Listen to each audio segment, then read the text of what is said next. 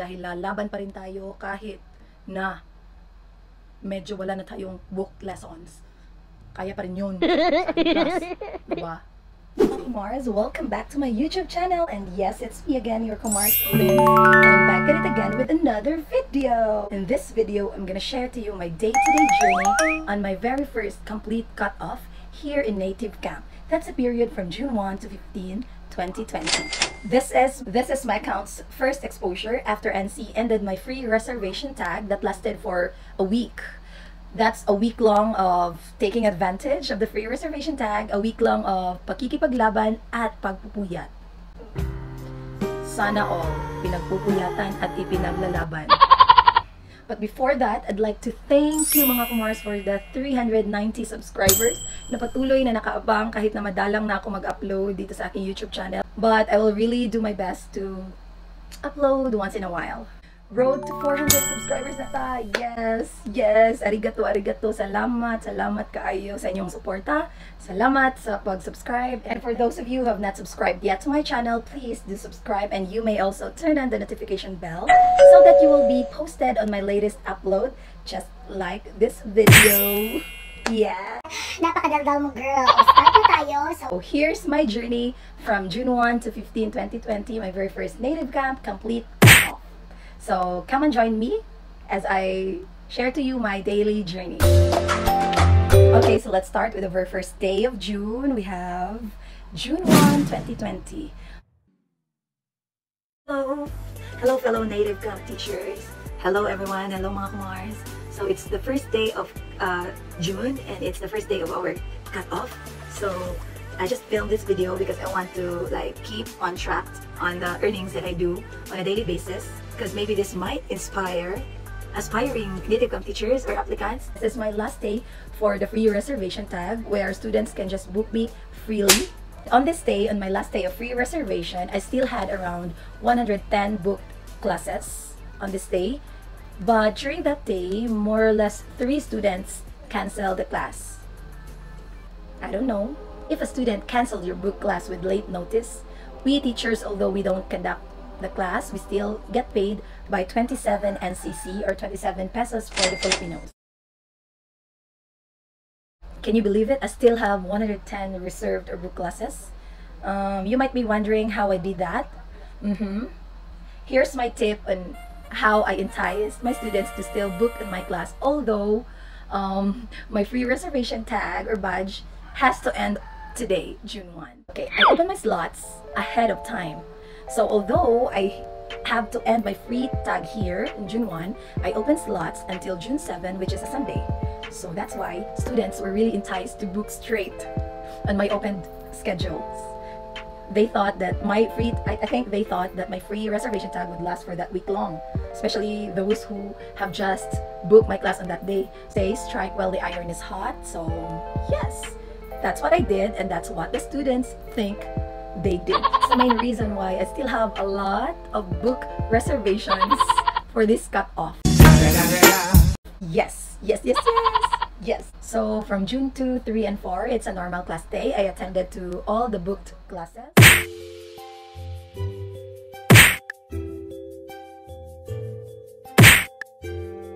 I got around more or less five canceled classes on the span of three days because I think some students noticed that they have to pay more if they would still pursue with the book class that they have on my schedule. But it's okay because I was able to do some sudden classes in between book classes. Not until June 5. Eto na siya. Because I think I overworked from May 20 until June 5. So I was so tired. My body was so tired. I felt that I've overworked and I was so stressed. So I wasn't able to wake up for my alarm.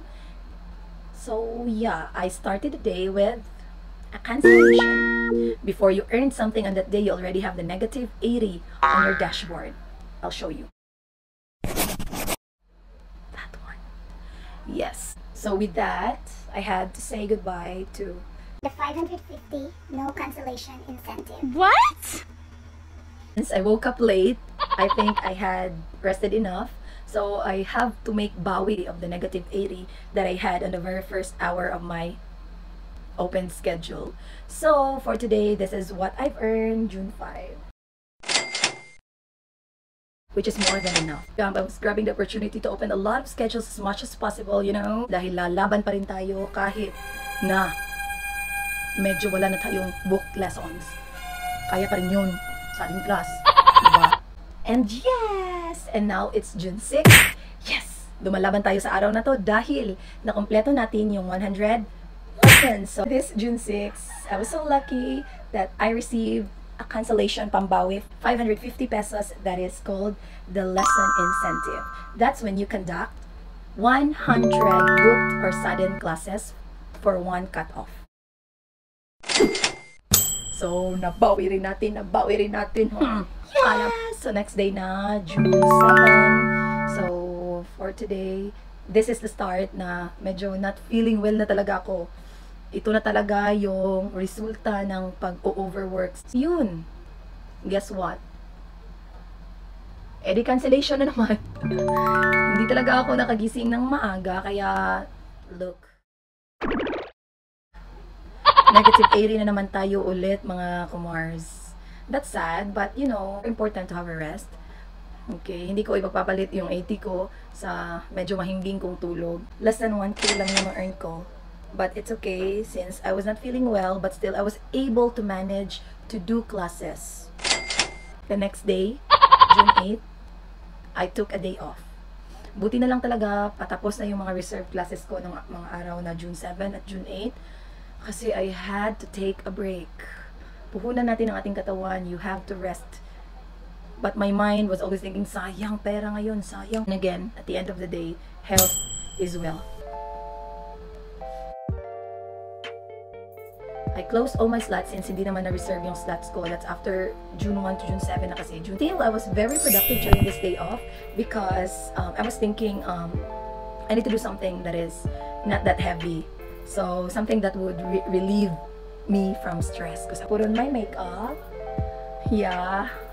Stress reliever ko ang paglalagay ng makeup. On this day, June 8, I filmed a makeup tutorial since dumating na din yung package ko na in-order online. So, I had to make a makeup tutorial plus a review of the makeup palette, the eyeshadow palette that I've received from Shopee. So, yeah. I also took this time to film the introduction of my previous video, the Native Camp Journey application process. That was the time that I took a break in NC.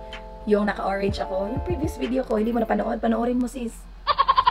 Panoorin mo mga kumars. Also, I tried filming an introduction video for my NC profile. Konnichiwa! This is Teacher Lens of Native Camp. Do you want to improve your English skills in the easiest and most enjoyable way? Yes, you are looking at the right person. Come and join me in my class. Surely, your 25 minutes will be worth it all the way. So what are you waiting for? Book your reservations now. I can't wait to see you in class. Bye! But then again, hindi nila matanggap-tanggap. Hindi ba ako tanggap-tanggap? Hindi. Hindi nila ako matanggap. Hindi nila tinanggap yung aking profile video na trinay ko in-upload kasi daw napaka-hina ng boses ko. I have to use a headset while doing that. Kaya yun, pagtsagaan nyo muna yung napaka-cringe na introduction video ko sa aking profile. I say, the nicer your profile is, the more students you get. So, and then June 9 na. Yes, for June 9, I decided take a day off also. So, para two days din. But I realized that it's June 9 and the next day is a payday, June 10. And I felt guilty na hindi ako mag-conduct ng class. It's quite comforting but you have this in mind na um, napaka-unproductive ko, couch potato, parang natutulog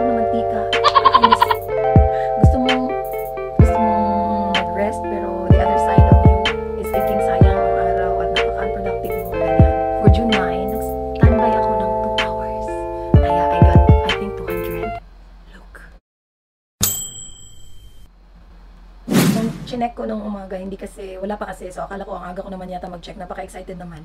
Kaya, ayun, um, ginamit ko muna yung pera ko, nag-order ako, but psh, psh, psh, psh, psh, dumating na si June 10, ang hinihintay nating lahat, which is our payday. So, supposed to be, this is my very first payday in native camp. So, I was expecting, I was expecting na the, papasok na sa aking account, BPI account yung um, sweldo. So, nag-order na ako ng Jollibee, kumain na ang pamilya. Nakinig ko ulit yung aking BPI at hindi pa pumasok yung sweldo, kaya kinabahan talaga ako. Akala ko, oh my God, scam ba si NC? Bakit hindi pumasok yung sweldo ko? But then I realized, and kapag hindi mo na ibigay yung bank details mo um, before May 31, hindi mo ma-receive yung salary mo sa June 10. So ako, binigay ko lang yung bank details ko around June, first week of June. Kaya ayun, kaya pala ganun. At least, na-enjoy ko din yung first salary vibes ko, although hindi ko talaga na-receive siya. But babayaran ko rin naman yun, sarili kong pera sa NC ng sweldo ko. Ito talaga ang pagka not feeling well ko sa araw na to. And yes, dumating na si June 11. June 11, medyo hindi pa mabuti yung aking pangangatawan. Standby lang ako ng, um, I think, 3 hours, ganun. And also, for this day, June 13, I had one reservation for the next day, June 14. Anyway, for this day, June 13, baka akalain nyo biglang lumaki yung aking salary. Um, hindi po, hindi, since hindi ko na-receive yung last payday ko na salary, na-add yung extra coins, uh, leftover coins ko from the previous cut-off to this cut-off. Kaya po, naging 24k yan. Hindi ko po yan na-earn in just a few days. And now, June 14, I've I earned around 300 pesos lang. Um, sa ating classes lang din at hindi ako masyadong nag-standby. I had one reserve class for this day, June 14, and that was my last reserve class for this cut-off. And now is June 15. June 15, um, hindi ako nag-class. Nag-day off na naman tayo mga kumars. Yes, June 15 hindi ako nag-class. In-enjoy ko yung mga babies na nabili ko galing sa NC Salary. What? And if you guys are interested on how I spent it, I'll also make a video on the things that I bought, on the things that I've invested on the, from my NC salary. If you guys are interested, that will be my, I think, one of the next videos that I'll upload, how I spent my NC salary. Yay! That's it mga kumars. That's the journey that I had on my very first complete cut-off in NC.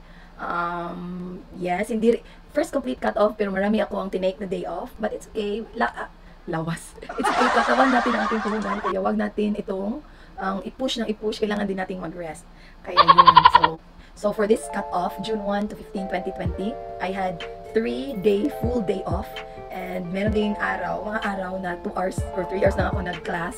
So, legit around 10 days ko lang din at tinrabaho yung aking salary for this cut-off. But it's okay. I am still very overwhelmed. I'm still very satisfied with what I've earned for a part-time job. This is big enough. But sabi nga nila, it's not about how much you earn, but it's about how much you save. Mga kumars, that's my first complete cut-off in native camp. I hope that you are inspired. Paano ka may inspired kung palagi lang naka-day off?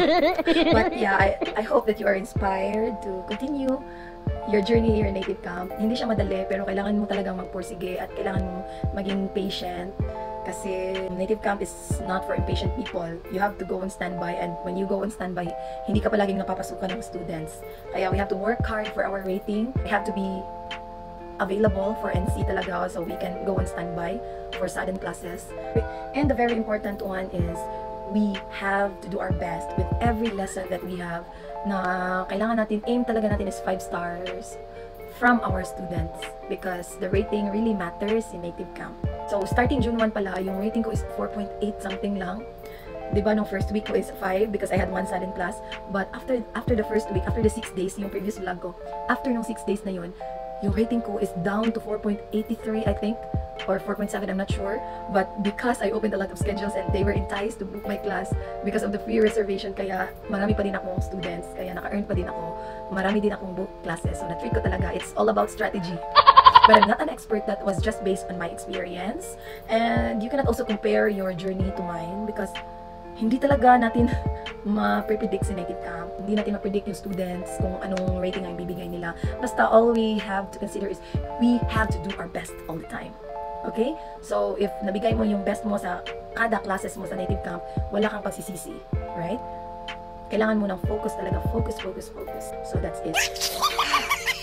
Napakatokative. Mga kumars, we've come to the end of this video. I hope that you are really inspired. Please continue teaching in native camp and be patient, keep safe, stay at home, and also if you have any questions about um, Native Camp, if you have queries, camp, do not hesitate to message me. I'll put in the description box all my other social media accounts. Hi mga kumar! Hope that you enjoyed this video and thank you very much for watching until this end. I hope to see you again on my next one. Bye!